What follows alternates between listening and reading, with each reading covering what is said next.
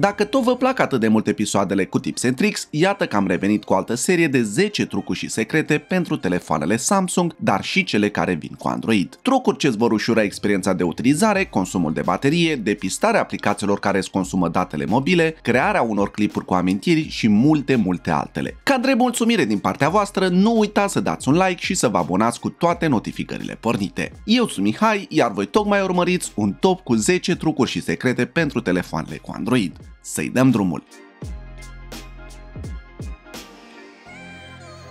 Dacă ai un telefon Samsung, iată o funcție interesantă pe care nu știai. Intrăm în galerie, selectăm pozele și clipurile preferate, apăsăm pe mai multe creare, iar aici veți putea alege ce să se creeze cu imaginile și clipurile selectate. Aveți de ales dintre rolă evidențiere care îți va crea un clip cu melodii și tranziții prestabilite, film unde îți vei putea edita durata clipului, tipul de melodie, suprapunerea unui text și așa mai departe, Apoi mai regăsiți GIF și colaj unde vă va combina până la 6 imagini și videoclipuri într-o singură încadrare. Așa că de acum îți poți crea o amintire video bazată pe imaginile din galerie.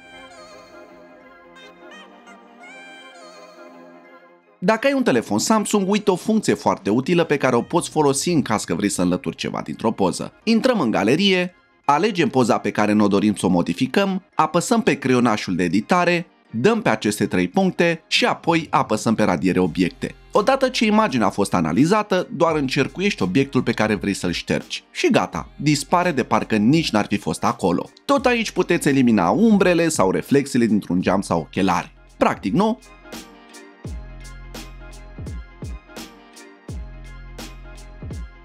Dacă ai un telefon Samsung, hai să-ți arăt o setare care ți-ar putea salva viața. Intrăm în setări, căutăm securitate și urgență, alerte cu tremure și o vom activa, iar acum când este detectat un cutremur în apropiere, vei fi notificat precum exemplu din imagine. Foarte util, nu?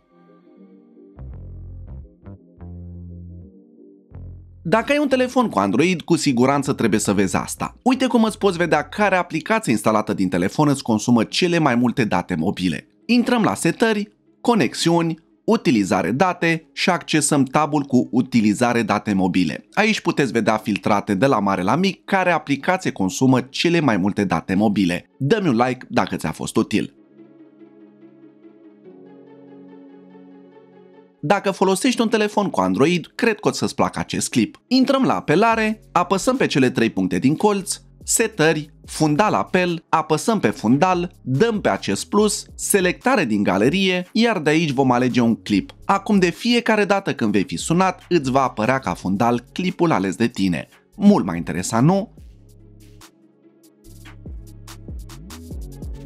Dacă folosești WhatsApp, uite ce mai poți face. Dacă vrei să trimiți o fotografie prin WhatsApp ca apoi după ce o vede să se șteargă automat, uite ce trebuie să faci. Intrăm în WhatsApp, alegem contactul căruia vrem să-i trimitem o imagine, apăsăm pe agrafă, galerie, vă alegeți imaginea dorită din galerie, iar înainte să-i dați send, apăsați pe acest 1 din dreptul bării de mesaje. Iar cel care o va deschide va avea ocazia de a o vedea doar o singură dată. Știa ideea?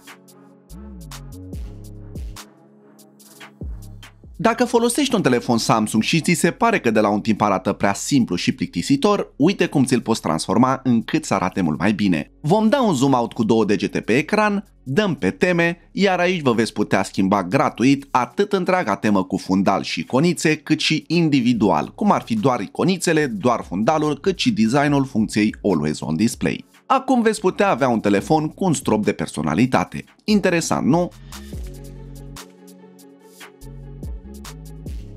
Dacă folosești WhatsApp, iată cum poți scăpa de acum de sutele de conversații de pe telefon, dar și să ai o confidențialitate mai mare. Intrăm pe WhatsApp, dăm pe aceste trei punctulețe, setări, cont confidențialitate și intrăm pe tabul unde scrie mesaje cronometrate implicit. Aici veți putea alege ca mesajele de acum să fie șterse după 24 de ore, 7 zile sau 90 de zile. Ce e de menționat este că această setare nu va afecta conversațiile deja existente, însă vă puteți alege ca de acum toate sau doar la unele conversații să fie activată această funcție. Acum nu veți mai avea pe WhatsApp conversații părăsite de ani de zile.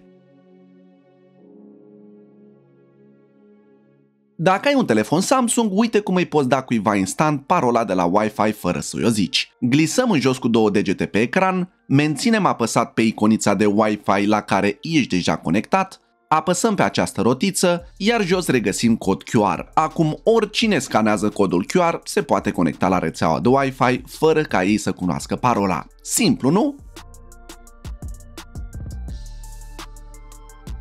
Dacă ai un telefon Samsung care are o cameră performantă cu foarte mulți megapixeli, uite ce trebuie să faci ca să ai cele mai clare și calitative poze. Intrăm în cameră, apăsăm pe formatul imaginii, iar aici veți putea regăsi în funcție de modelul telefonului formatul de 3x2 cu 64 sau 108 megapixeli. Acum vei avea imagini mult mai sharp și mai clare decât ca până acum. Dă-mi un like dacă ți-a plăcut. Cam acestea au fost cele 10 tips and tricks atât pentru telefoanele Samsung cât și cele cu Android. Dacă ți-au fost utile, apasă pe butonul de like și abonează-te cu clopoțelul, deoarece voi mai veni cu alte episoade de acest gen. Eu sunt Mihai, ne auzim pe data viitoare, pe curând!